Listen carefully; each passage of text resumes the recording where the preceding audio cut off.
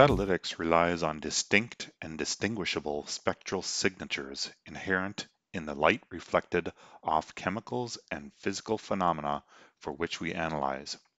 Many of the unique points in the spectral signatures are found in the near-infrared and shortwave infrared portions of the electromagnetic spectrum.